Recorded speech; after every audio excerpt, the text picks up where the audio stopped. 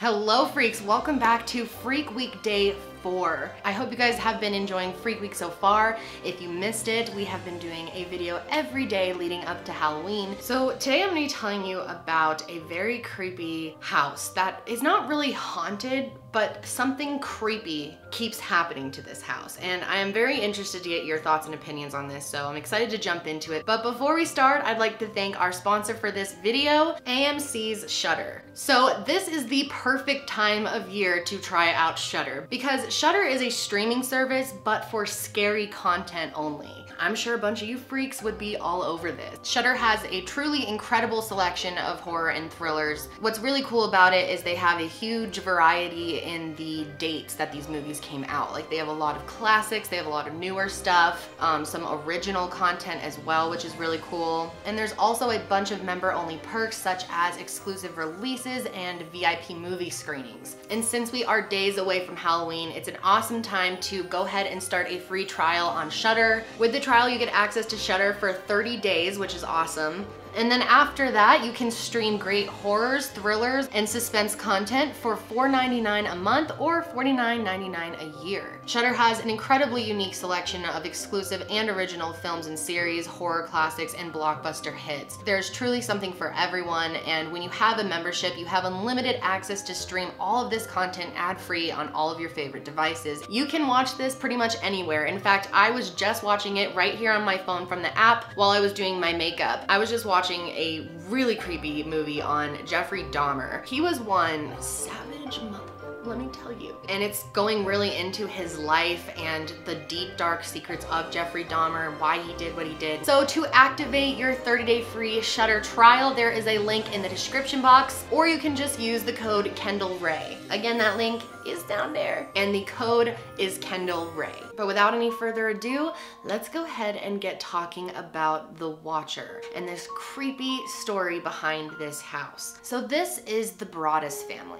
Husband and wife Derek and Maria and their three children. Back in June of 2014, this couple actually purchased a beautiful home in Westfield, New Jersey. Westfield is actually a suburb in New Jersey that is known to be one of the safest areas in the state. So they figured it was a great buy. This house had a lot of character to it. It was very classic looking. It was very upscale. It had six bedrooms, so definitely big. And they bought the house for $1.3 million.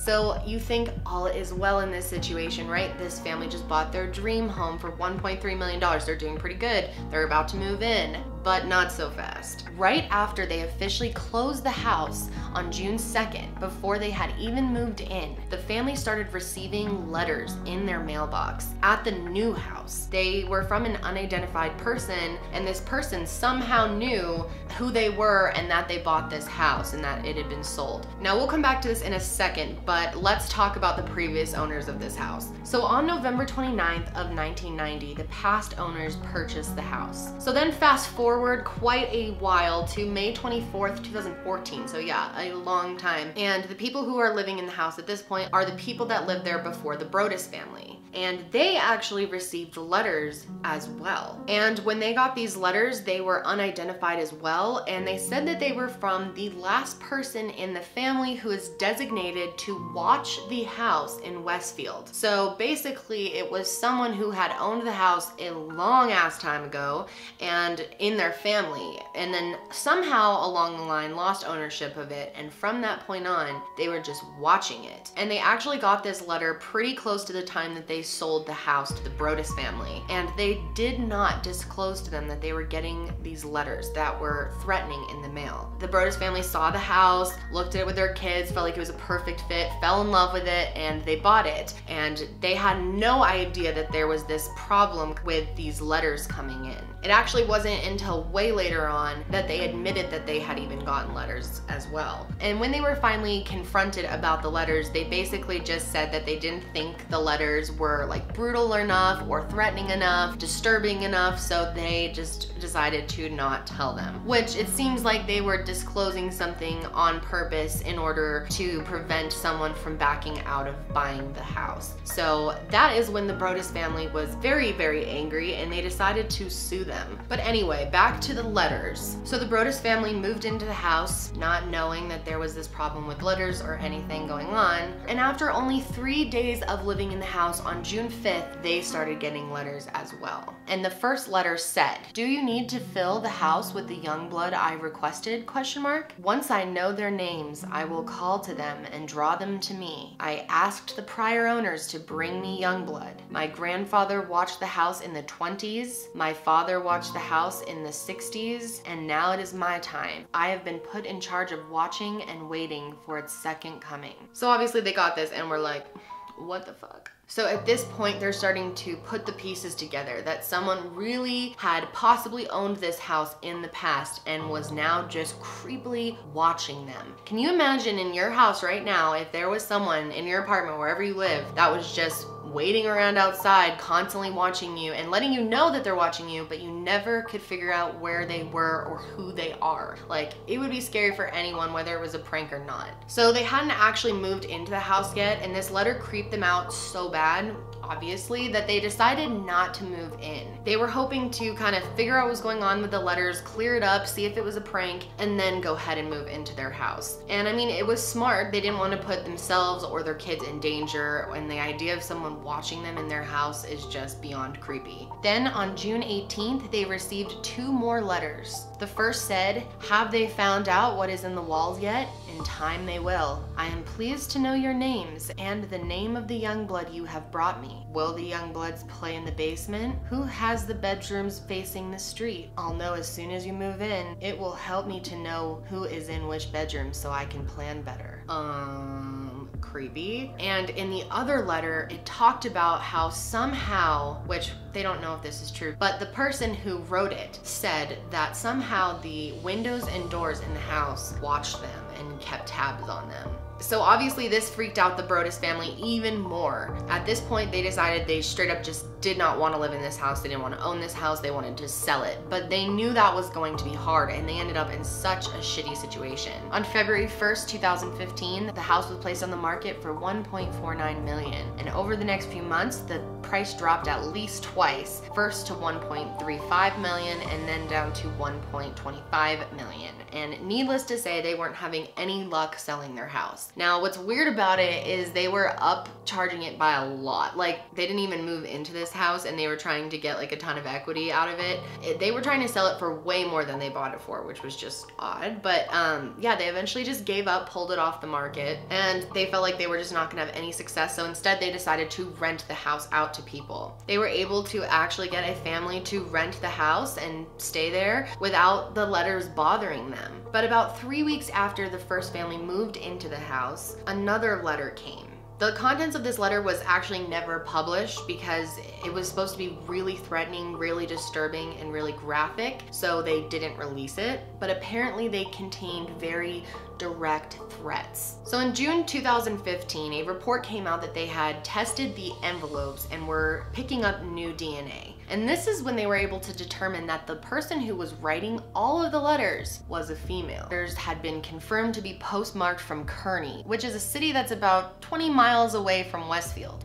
And this is kind of helpful, but not specific enough to really do anything with it. And just because someone sent it from Kearny doesn't mean it was written there. And an FBI profiler examined the letters and just was able to determine that they were written by someone who's really old probably, which is very vague and not too helpful. So then in 2016, the Broaddus family actually tried to get permission from the city to just bulldoze the house and put two new houses on its land. But their request request was denied. And what's really creepy is the last letter they received actually said that they should not move forward with their plans to tear down the house. So somehow this person knew what they were thinking, doing, planning, it's just bizarre. So let's look at the possible theories people have. There are some people that think the letters were actually just written by the Broaddus family, that they wanted to get out of the house, so they wrote the letters as a plot to like somehow get out of it, but that doesn't really make sense considering it didn't work out for them, and that seems like quite a lot of money to just, you know, just make a decision then be like, oh, never mind, I'm just gonna make up this huge lie. I mean, I think they were pretty excited about living in this house and they were very disappointed that these letters were coming in because it's very creepy. A lot of people have brought up the idea though that maybe they were just doing all of this to sue the old owners, but that doesn't make sense either because they would have had to start writing these letters before they even moved in. And then there's the idea that obviously one of the old original owners of the house when it was first built could be involved or kin of them could be involved. And this is really weird, but many years ago, the house was actually recorded being sold for a dollar. And then that person sold the house for a dollar. Now this seems kind of weird to do, but apparently this is a thing that people do, that you can actually sell your property if you can't pay for it. You can sell it to someone else to basically hold it for you as an asset and then sell it back to you for a dollar. So basically just moving your money around. So it's possible that the house was kind of just, you know, traded around between family members and friends for a while. It's even possible that the original owners somehow feel like they got ripped off in the whole situation or there was some turmoil and they lost the house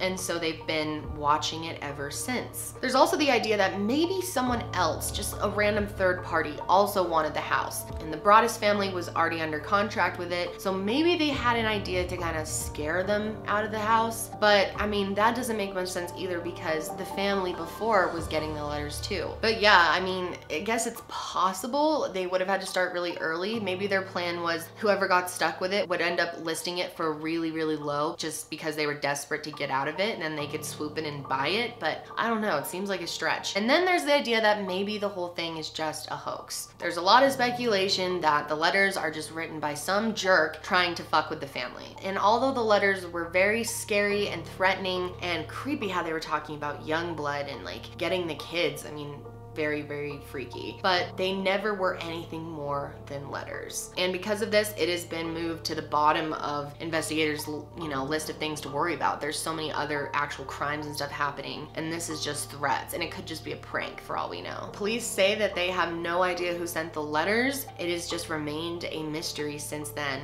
And I'm not sure at this point if the Broaddus family has received any other letters. I couldn't find anything else reported from them recently, but it is very interesting that they mentioned that there are possible bodies in the walls of the house, or I guess they were alluding to what could be there. So it's kind of interesting that no one has like tried looking in the walls. I guess you'd have to like take it all down and like who knows if it's even real, but it's kind of crazy to think that it could be telling the truth. So I wanna know what you guys think. Do you think that this is just some prank? Is the family involved? Is a competing real estate buyer involved? Or is this really going back to a family that owned this house like way a long time ago that had some type of vendetta or curse on the house or something like that? I wanna know your guys' thoughts for sure. Definitely let me know below. Be sure to make sure you're subscribed and you have your notifications on because there will be videos every day until Halloween for you freaks.